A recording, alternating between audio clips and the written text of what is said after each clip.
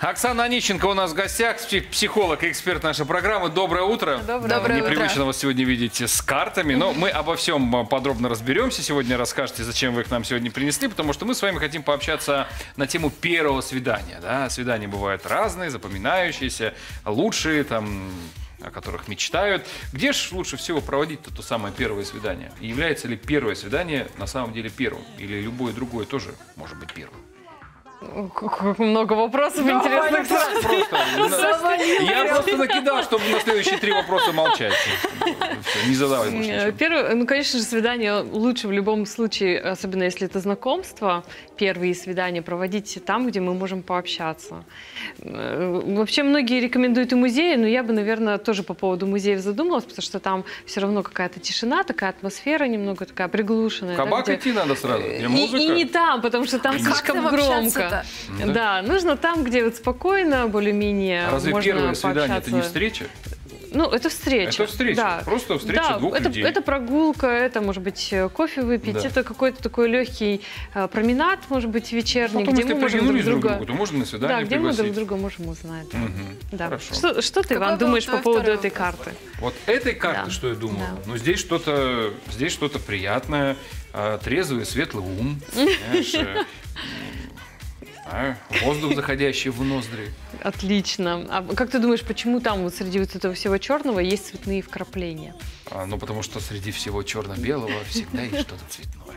Замечательно. Смотри, э, я, я принесла, принесла сюда карты, и вот по поводу карт у нас Диагноз уже... раз- поставил уже? Раз- ну, конечно, Да? потом после эфира я тебе Хорошо, хорошо. У нас э, разворачивается какая-то история, вот у нас контекст, да? Э, то есть для нас важно, чтобы на свидании у нас был какой-то заложен контекст. И этот контекст мы, конечно, сами, сами закладываем э, теми намерениями, которые мы внутри себя создаем, когда мы идем на свидание. Тем, как мы готовимся к этому свиданию. Цели ставим. Да, и вот здесь вот очень четко ты попала этим словом цели, потому что э, здесь, с одной стороны, э, важно продумать свидание, с другой стороны, не переборщить э, с внутренней ответственностью, потому что когда мы ставим слишком большие цели, да, мы можем прийти к некой панике или, может быть, разочарованию из-за того, что ну, не удалось реализовать те цели, которые мы ставили перед собой. Поэтому, с одной стороны, нужно спланировать это первое свидание, ну, продумать, куда вы можете пойти, а с другой стороны, быть гибким, потому что вы все-таки первый раз видите человека, и может так оказаться, что он захочет чего-то другого, и дайте возможность другому человеку Так тоже том-то и дело, за проявляться. себя-то мы можем отвечать, да, а за партнера, за... ну, Конечно, Нет, да. мало да. ли, как он себя поведет. Нет, да? подождите, но Ага. у нас и тема звучит, как нужно себя вести на первом свидании. То есть все-таки какие, не знаю, рамки поведения должны мы помнить, правила. Ну вот, э, об этом я и говорю, да, что с одной стороны мы м, предлагаем партнеру, конечно же, инициатива идет от мужчины, так полагается, так устроена наша культуре, Ну, еще скажи, что мужчина платит на свидании. Ага. но это прилично. Нет, а Если на мы говорим о приличии, то да. Э, На самом свидании э, границы общения, э, о чем мы общаемся, да, вот, например, темы, какие мы вообще можем обсуждать с человеком, это скорее исключим те- э, темы негативные, темы политики, э, религии и бывших, эти все темы желательно, Доходы. конечно, доходы, да, это Вот и неприличные А чего? темы. Сразу бы узнали, что все несовместимы, Во- расходимся. Вообще э, свидание вызывает стресс в том случае, когда мы не понимаем, на что мы можем опираться, когда у нас не хватает опоры. Я в этом случае рекомендую подготовить себе несколько вопросов. Вы же можете в интернете зайти и и просто у себя э, внутри подготовить несколько вопросов, Список. которые, на которые вы можете опираться. Ну, желательно, чтобы эти вопросы были интересные, креативные, чтобы вашему собеседнику, ну, вот, допустим, я зашла в интернет, выписала несколько вопросов. А, чем больше всего гордишься в жизни? Можно спросить, да? Ну, такие философские. Да, что мечтаешь донести этому миру? Вот, да, философский, Боже хороший, ну же был. Донести. Ну, есть о чем, есть о чем подумать. ну? Есть у тебя какая-то секретная давай, один вопрос способность? от тебя, который Да ты подожди. бы задал на свидание. Мне просто в интернете на бумажках распечатал, пусть прочитает. Чего ты с нетерпением ждешь в будущем? Смотрите, Хороший, какие да. интересные вопросы. Что тебя больше всего смешит или веселит? Или можно предложить альтернативу.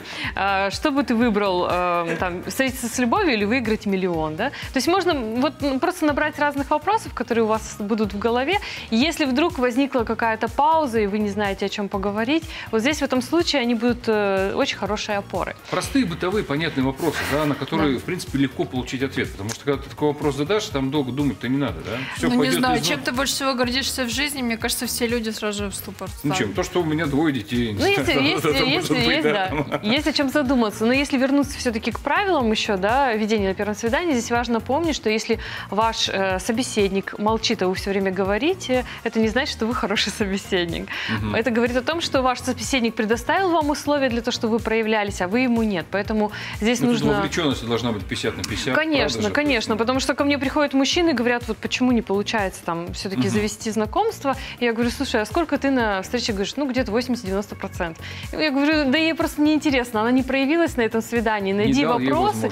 Да, не только зада- задать вопросы, но можно и а, внимательно слушать, о чем говорит ваш собеседник, цепляясь за эту информацию и а, как-то эту беседу А если просто человек продвигать. закрытый, не хочет открываться? А что, пришел тогда?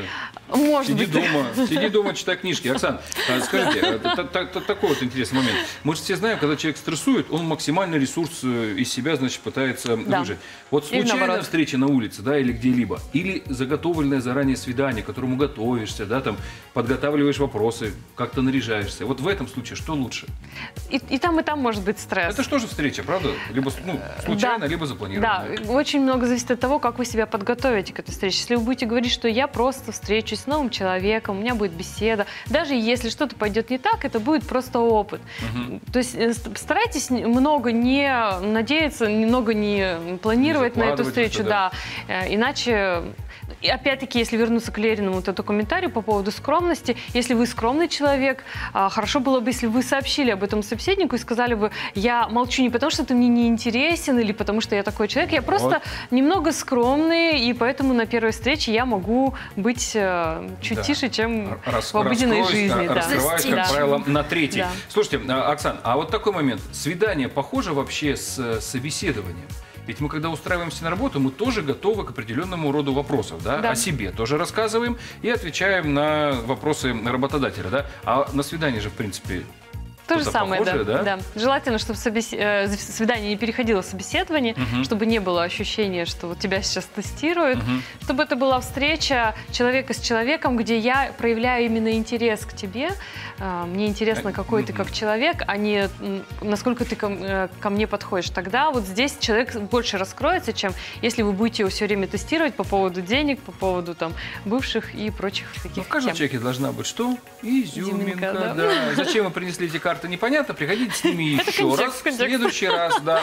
Более подробно их раскроем. Благодарим Оксану. Онищенко, да, психолог и эксперт нашей программы, за то, что вы сегодня к нам пришли и рассказали, как же все-таки нужно себя правильно вести на свидании первом, чтобы обязательно случилось и второе.